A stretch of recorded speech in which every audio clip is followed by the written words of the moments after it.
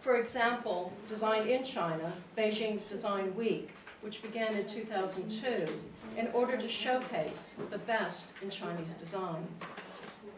The week is organized as a platform in Asia for display, promotion, exchange, and trading of creative designs. Red Dots, China Good Design, is also drawing attention to the ways in which designers generate and communicate high-quality cultural outputs. The award scheme is judged by an international expert panel, which helps in benchmarking on a global level the potential strength of Chinese design. We know that during the immediate post-Second World War period, with the exception of Shanghai, that commercial graphic design was seen as a symbol of Western lifestyle, which was encouraging the consumption of unnecessary products. It wasn't until the 1960s when the American Henry Steiner arrived in Hong Kong where he demonstrated the ways in which Chinese cultural symbols and written characters could be incorporated into his otherwise, China, uh, otherwise Western-style designs. Steiner used the metaphor of a chameleon to describe his approach to design in his book, Cross-Cultural Design. And here he writes, Chameleons reflect local color, but retain their form. Ideally, designers are representative of their own culture, yet adaptive to new surroundings. The goal is to achieve a harmonious juxtaposition, more of an interaction than a synthesis. Now Steiner draws upon the symbolism of local references.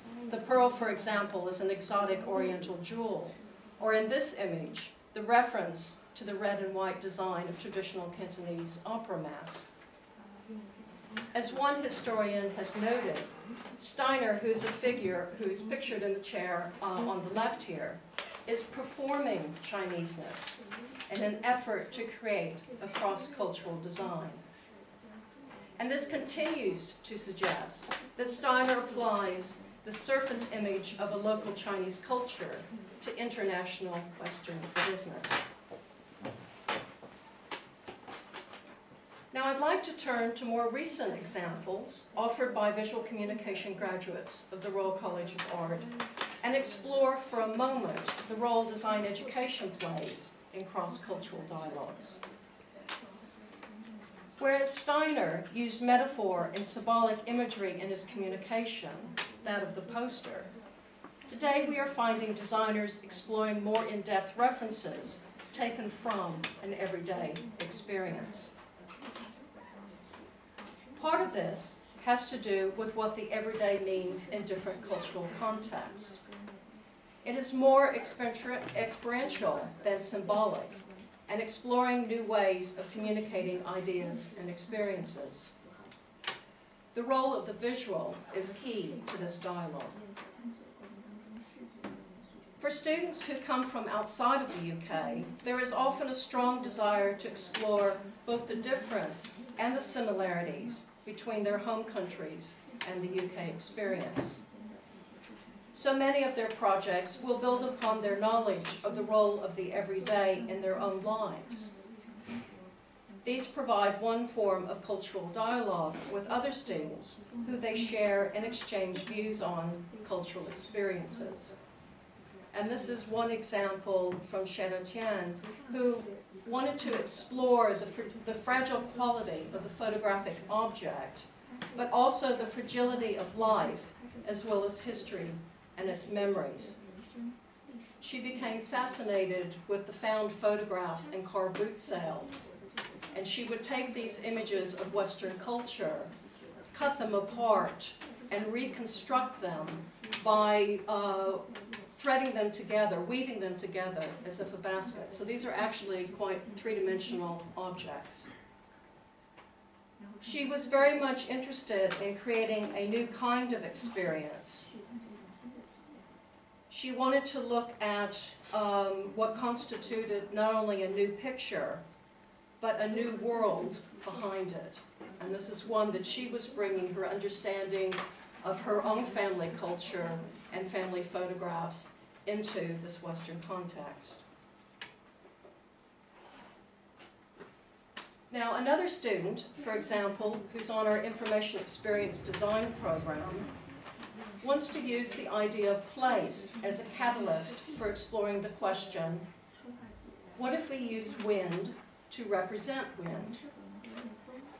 Her piece, Within Invisibility, is a wind data-based art project. The core concept is to skip the jargon of conventional wind charts or wind speed visualization and to transfer wind data into real windy atmosphere, connecting data with multi-sensational experiences. And this piece is constructed from 80 fans with blue LED lights resting on blades, where there's a data stream coming in and creating particular speeds for each of the blades, and therefore the lights going around. And here's a close-up of it as an installation in a gallery. The cross-cultural dialogue comes from bringing together different educational traditions, and she builds upon these learning bases. Her interest is bringing the data stream from 40 cities in China into London and asking questions around the city's climate, the landscape, and even the infrastructure and traffic that may be impacted by the wind. My next example is a collective of four students, three Chinese students and one Korean, who came together on the visual communication program to curate a collaborative exhibition in London. They were interested in exploring their own approaches to experimental image making from using multiple screens to mirrored objects. The students were involved in an elective which we called Design Without. And Design Without meant that each student was asked to respond to a brief each week, but without any rules, without any guidelines, and without determining what their outcome might actually be. It was an experimental class and a way for challenging the notions of the designer's own practice and their own worldview. Now these students are at the intersection of art and design practice, a common occurrence amongst many of our students. They've relished the creativity and freedom of the Royal College of Art, but it has also allowed them to be expressive and experimental. And as one of the students remarks, it is the communication that is important. We don't care so much about the media. We deal with it all. It's the topic that is important.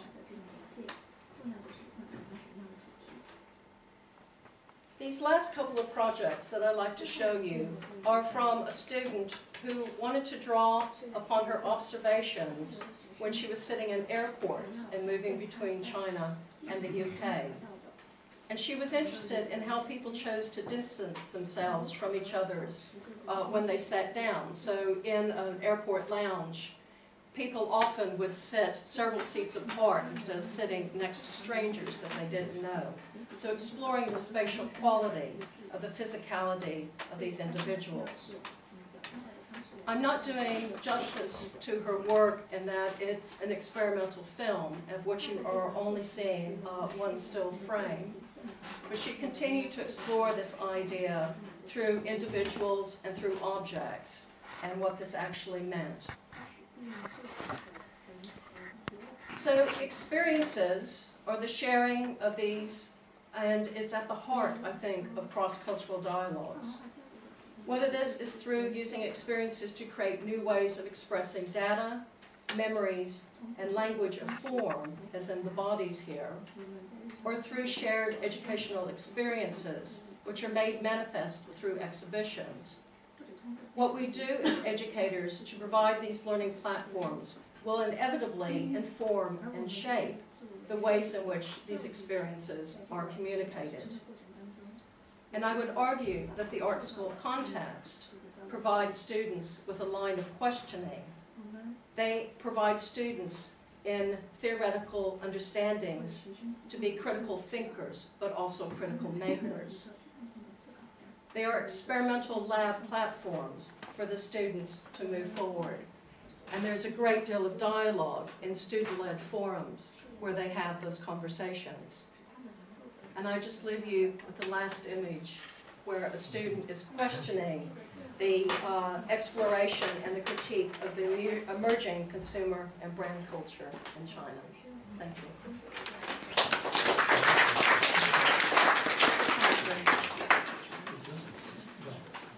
Thank you very much. A very illuminating insight into the value of art and education in cultural uh, transformation and personal transformation. Uh, I'd like to conclude uh, by welcoming Professor Jia Leilei, who's Vice President of uh, China's National Academy of Arts. Uh, we're very privileged to have him with us today, and uh, I hope that his talk will serve as a roundup of um, this afternoon's events. Uh, he's particularly uh, expert in film studies and is going to be talking to us today about the aesthetic style of martial arts dancing in uh, Chinese martial arts movies. So, Professor Jia.